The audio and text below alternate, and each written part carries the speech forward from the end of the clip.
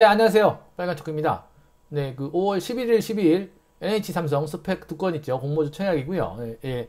원래는 그 진 시스템 끝에 살짝 간략하게 설명을 해드리려고 했는데 어, 이전에 뭐 자세하게 좀 살펴보면 자세하게도 아니죠. 스펙은 자세하게 살펴볼 그 자체가 없으니까 어, 좀 설명을 드렸는데 오늘은 스펙이 뭔지랑 네, 간략하게만 3분 정도로 정리를 해가지고 설명을 드리겠습니다. 네, 공모 가격은 다 스펙은 2,000원이고요. 네, 증거금은 100%, 환불일은 5월 14일, 어, 참고로 NH는 스펙 중에서 이번에 유가증권에 올라가는 스펙인데 유가증권의 스펙이 상장된 적 합, 인수합병돼서 합, 어, 다시 합병돼서 상장된 적은 없고요. 어, 네, 규모가 좀 크죠. 크고 보통 한 100억대 내외인데 NH 같은 게 한 800억 정도 되죠. 네. 근데 그 일정이 다른 거랑 지금 좀 겹쳐가지고 스펙은 안 하신 분은 안 하시는데 어, 하는 분들은 또 하죠. 네, 저 같은 경우는 하고 뭐 일부 제 영상을 보신 분들도 하고요. 어, 스펙은 상장날 주가가 날아가진 않아요. 네, 날아가는 경우도 아주 가끔 흔하지 않게 있지만은 합병 이슈가 터졌을 때나 그런 데나 날아가지. 어, 처음 상장의 날, 뭐 2,030원, 2,020원, 뭐 내외죠. 네, 2,000원에 받았으니까 2,030원이면 한 1% 정도 수익인데, 어, 최근에 경쟁률을 보면은, 네, 음, 제가 많이 가는 사이트죠. 어, 쿠콘 때 그때 했을 때, 요때 그 이후에 해가지고 하이지 요크 스펙이 예, 있었는데 SKI 그 공모주 청약이랑 겹쳤죠. 겹쳐가지고 실때 경쟁력이 굉장히, 굉장히 낮게 나왔죠. 이때 어, 균등만 해도 한 700주, 아 700주, 200주 이상 받았고요. 어, 저는 못했어요. 하이투자 증권이 없어가지고. 어, 3월달 때 유한타 제8호랑 유진 6호가 있었는데, 네. 예, 85대 1, 236대 1 정도 나오죠. 그 증권사를 자세히 보면은 예, 주요한 증권사가 아니라 조금 약간 중소형 규모의 증권사들이 많이 들어오죠. 어, 공모주는 네, 이익이 많이 남지 않기 때문에 어, 네, 이런 중소형 규모의 증권사들이 많이 들어옵니다. 네. 자, 여기 보면은 하나금융 17호 168대 1이 있고 2월 달에 네, 하나모스트 237대 1. 보통 예전에 경쟁률이 이렇게 나오진 않았는데 최근에 공모주가 인기가 있다 보니까는 경쟁률이 좀 올라갔어요. 네. 자, 지금 우리가 볼 거는 삼성 스펙이랑 NH 스펙이죠. 네, 이게 두 개를 보면은 일정이 삼양 SNC랑 지금 많이 겹쳐요. SMCNS 있고 앞뒤로 뒤로 뭐 NH 스펙, 제주 맥주, 진 시스템 이런 게 있죠. 제주 맥주나 진 시스템 풋백이 있어가지고 조금 예 리스크가 있을 것 같고요. 네, 리스크는 뭐 10%밖에 안 되지만은 조금 안 좋을 것 같아가지고 말씀드리는 거고요. 어, 한불일이랑 이런 게 14일이고 청약일이 10일, 12일이죠. 그러면은 이게 한불일이 다 13, 14 이렇게 돼 있죠. 네, 그래가지고 어, 요거는 사실 상장일 날 받아도 됩니다. 네, 상장일 날 받아도 되는데 주당 한 30원에서 40원 정도 생각을 해야겠죠.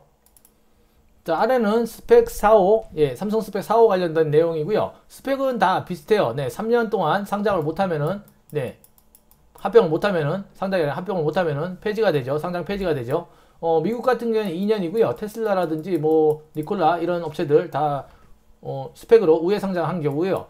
스팩은 특수 목적, 을 가지고 회사를 인수하는 예, special 뭐 purpose acquisition company죠. 네, 그렇게 그렇게 돼 가지고 3년 내에 어 합병을 완료하지 못하면 상장 폐지되는데 보통 2년 6개월 안에 해야 되죠. 6개월 정도 추가로 예비 심사하고 그게 어 2년 6개월 안에 못하면은 안 된다고 봐야 되고요. 네. 보통 그 예치를 자금을 예치를 하는데 예치를 은행이나 지정된 기관에 예치를 해가지고 36개월 해가지고 이자를 어 삼성 스펙 같은 경우에 0.82 정도 계산을 해가지고 이자를 지급하게 됩니다. 네. 뭐 기본적인 이자를 어느 정도 은행 이자보다 조금 낮겠지만 지급을 하, 게돼 있고요. 뭐 그게 어, 투자 설명서나 어, 증권 신고서에 다 나옵니다. 그거는 뭐 공시 자료에 찾아보시면 다 있는데 그 이자율은 조금씩 틀리고 보통은 어, 스펙 같은 경우에는 인수 다른 어, 업체랑 기업체랑 이렇게 스펙이 있으면 합병을 하죠. 합병을 해가지고 이슈가 터지는 경우에 뭐 3천원을 가고 4천원을 가고 막 이러죠. 3천원, 4천원. 네, 3천원, 4천원을 가는데 문제는 그 이 금액을 보증해 보증 보장해 준다는 거는 어 합병을 안 하고 상당 폐지된 경우에 이렇게 되는 거고요. 만약에 합병을 해서 주가를 이렇게 간다 그러면 주가 이렇게 될 수도 있고 그때는 이 주가에 따라가는 거죠. 이 규격은 안 따라가는 거고 이제 합병을 했기 때문에 네 이거를 예치자금을 반환할 수가 없죠. 돈을 합병하는데 다 썼기 때문에 네, 그런 부분만 주시, 조심하면 되고요.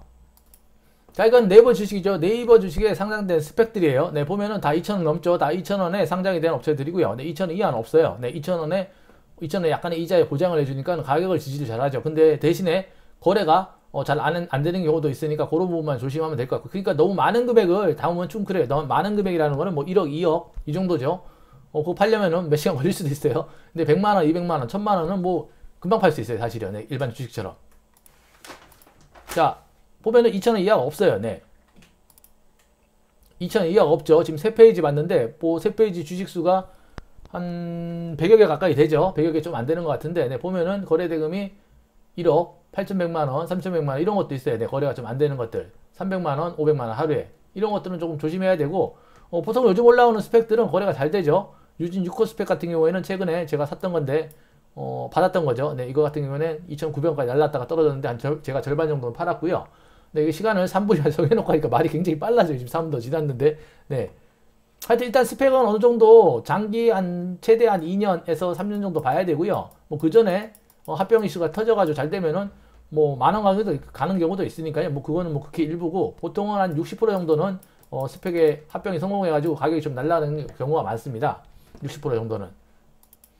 일단 스펙 관련해서는 제일 중요한 거는 네, 사람이 하는 일이다 보니까 그 운영진이 이사진이 네, 이사진이라고 그러죠. 운영진 무슨 동호회도 아니고 네, 이사진이 네, 이사진이 네, 어떤 사람이냐? 보통은 NH 증권이면은 NH 투자증권 관계분들이 이사료 다 거의 웬만하면 들어오고요. 삼성이라 그러면 삼성 관련 직원들이 많이 들어옵니다. 그러니까 이전에 인수합병이나 이런 거 했던 경험이 있는 분들이 많이 들어와가지고 운영하는데 그분들 인맥이라든지 이전에 뭘 했는지 그런 부분이 미국에서는 굉장히 중요하고요. 우리나라는 뭐 아직 스펙이 이렇게 활성화되지 않았지만 최근에 스펙 관련해 가지고 어, 공모자 하는 분들이 많이 관심을 가져가지고 어, 거래량도 많이 늘었고 어, 경쟁률도 늘었고 어, 그리고 금액도 2,000원 언더에서 음, 가는 경우가 거의 2,000원 언더가 떨어지면 이상한 거죠. 네.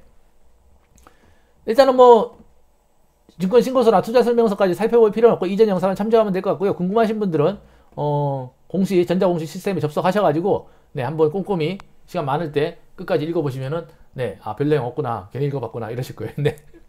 영상이 도움이 됐으니까 구독과 좋아요 꾹 누르시고요. 네, 오늘도 건강한 하루 되십시오. 네, 스펙 일정 이러니까, 아, 그 참고로, 어, 금액이, 어, 다른데 비례 청약하는 바람에 금액이 없는 분들은 이때 청약을 해서 안 받아도 되고요. 상장일 날, 상장일 아침에 시장에서 한 100만원 기준으로 매수를 한다 그러면 한 만 원 정도, 2020원에 2030원 만원에서 만원 정도 더 준다는 느낌으로 갖고 계시면 됩니다. 그럼 뭐 나중에 은행 이자보다는 훨씬 갈 수도 있고 뭐 사실 뭐 알바끼 하는 느낌으로 한다고 제가 항상 말씀드리는데 그런 느낌으로 하면 될 것 같습니다. 네. 뭐 투자의 결정은 본인이 직접 하는 거고요. 제가 이런 상품이 있으니까 알려만 드리는 거니까 어차피 저 너무 믿고 하시면 안 돼요. 네. 멘탈이 중요합니다. 주식은. 네네. 고맙습니다.